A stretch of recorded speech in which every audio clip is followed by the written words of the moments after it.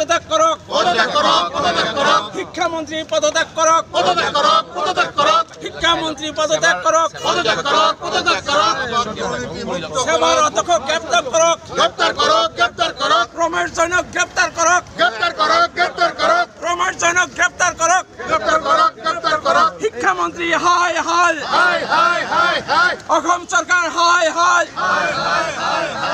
শিক্ষামন্ত্ৰী পদত্যাগ কৰক শিক্ষামন্ত্ৰীয়ে পদত্যাগ কৰক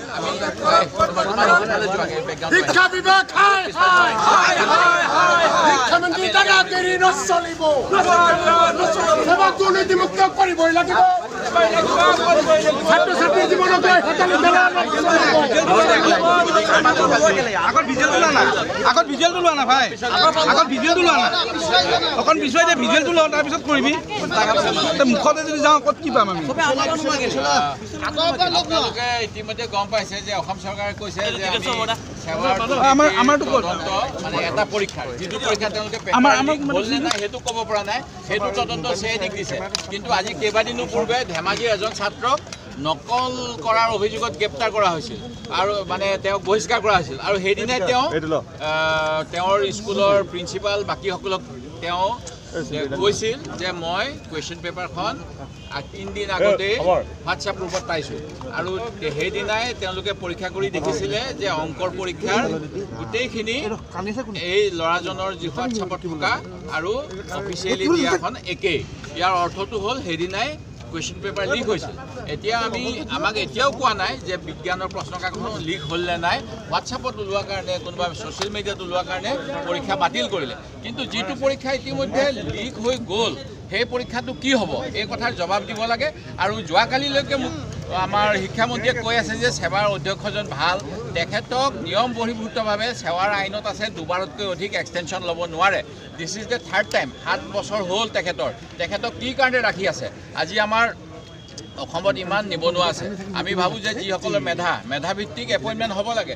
আজি বিভিন্ন চৰকাৰী পৰীক্ষাসমূহ সেৱাই কৰি আছে।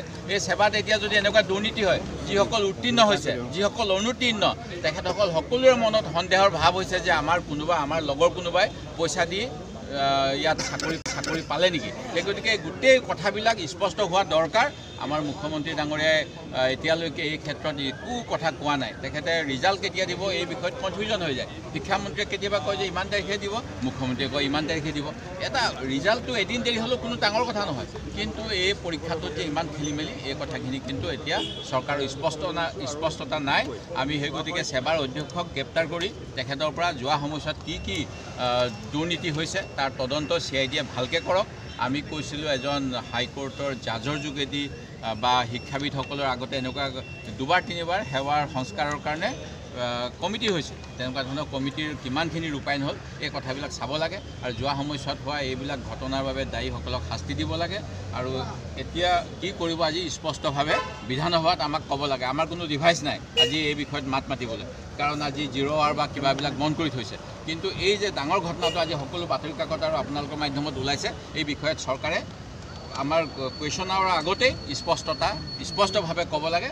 এইটো আজি নহ'লে আজি অসমৰ বহু যুৱক যুৱতীয়ে মনত ভয় কৰি আছে যে তেওঁলোকে যিখন মেট্ৰিকৰ অংকৰ পৰীক্ষা দিলে তেওঁলোকৰ লগত সমানে কোনোবাই পৰীক্ষা দি নকল কুৱেশ্যন পেপাৰ কিনি পেলাই কোনোবাই ষ্টেণ্ড কৰিবলৈ গৈ আছে নেকি?